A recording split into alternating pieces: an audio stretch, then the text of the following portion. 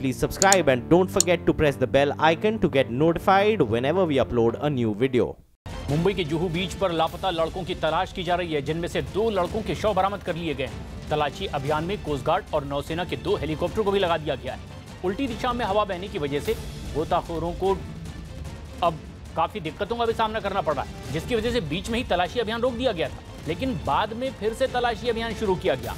कल समंदर की तेज लहरों की चपेट में आकर पाँच लड़के बह गए थे, जिनमें से एक को बचा लिया गया था। और आज एक बार फिर जब तलाशी अभियान शुरू किया गया है तो कोस्ट गार्ड और नौसेना के दो हेलीकॉप्टर को भी तलाशी अभियान में लगा दिया गया है। लेकिन ये अभियान बीच में रोकना भी पड़ा था, जब तेज हवाओं की वजह से गोताखोरों को दिक्कत आ रही थी।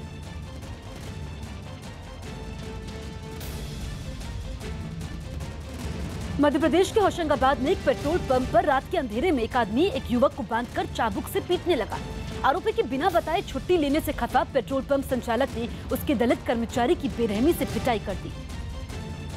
जिसका उसने वीडियो भी बना लिया। वीडियो में साफ़ दिखा कि पेट्रोल पंप संचालक ने एक मशीन से उसके एक दलित कर्मचारी को बाँध दिया और चाबुक से उसकी पिटाई करने लगा। इस बीच वो उससे कुछ सवाल भी कर रहा था। पागल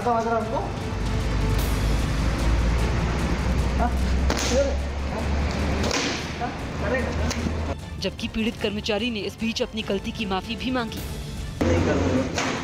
तब भी पिटाई करने वाले शख्स का दिल नहीं पसीजा और वो लगातार युवक को चाबुक से मारता रहा। इसके बाद वहाँ पेट्रोल पंप संचालक का एक साथी भी वहाँ पहुँचा और उसने चाबुक अपने हाथ में ले लिया, जिसके बाद उसने भी पीड़ित की जमकर पिटाई कर दी। आरोप है की पीड़ित कर्मचारी ने उन्हें बिना बताए छुट्टी ली, जिसकी उसे सजा दी गई पाँच छः मिनट करीब हंटर मारे मेरे को वहाँ पे। मार के और सर उनने छोड़ दिया मेरे को। वहीं पे फिर ड्यूटी करवाई मेरे को। इस वीडियो के सामने आने के बाद पुलिस ने दोनों आरोपियों को गिरफ़्तार कर लिया। दोनों को पुलिस ने अभी रक्षा में ले लिया है और माननीय न्यायालय के समक्ष में पेश किया है। आरोप ये भी है कि पिटाई करने वाले दोनों शख्स ने पीड़िता को पुलिस से शिकायत नहीं करने का दबाव भी बनाया। बिहार में दरभंगा की सेंट्रल जेल के मुलाकाती काउंटर पर न्यूज़ 18 के अंडरकवर एजेंट जेल के कर्मचारी से बात करने लगे। न्यूज़ 18 के स्टिंग ऑपरेशन ने बिहार की सेंट्रल जेलों के अंदर कैदियों को मिल रही सुविधाओं और आज़ादी की पोल खोल दी। जिसकी शुरुआत दरभंगा की सेंट्रल जेल से हुई जहाँ पड़ताल के लिए पहुँचे न्यूज़ 18 के अंडरकवर एजेंट ने कैदियों से मिलने वाला पास बनवाने की कोशिश की जिस पर पहले तो काउंटर पर बैठे कर्मचारी ने उनसे पहचान पत्र मांगा। हम बिना आईडी प्रूफ के नहीं कर सकते मुलाकात पूजा नहीं करिएगा क्योंकि इसमें आईडी का डिटेल देना पड़ता है। लेकिन चंद रुपयों का लालच देने पर जेल कर्मचारी ने सारे नियम कायदों को ताक पर रख दिया। देखिए ना भैया पाँच सौ रुपया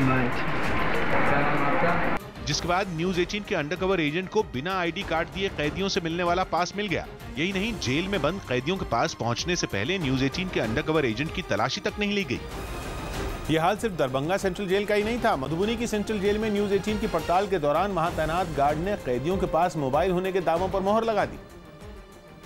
क्योंकि जेल में कैदियों को मिल रही सुविधाओं का पर्दाफाश करने के लिए न्यूज़ 18 के अंडरकवर एजेंट जानबूझकर मुलाकात का वक्त खत्म होने के बाद जेल में पहुँचे। लेकिन गार्ड की बातों ने जेल के अंदर कैदियों को मिल रही सुविधाओं की पोल खोल दी।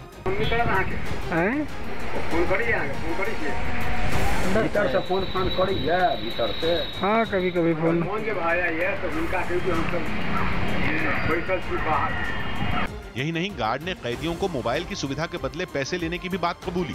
मोबाइल में बात कराने का पैसा लेता है? भीतर में पैसा लेता है जो जो रखे हुआ है मोबाइल तो इसे थोड़े रखे हुआ है। न्यूज़ 18 की पड़ताल में पटना की बेयूर और छपरा की सेंट्रल जेल में भी कैदियों तक मोबाइल और सिम कार्ड से लेकर किसी भी तरह का सामान पहुँचाने का पर्दाफाश हुआ।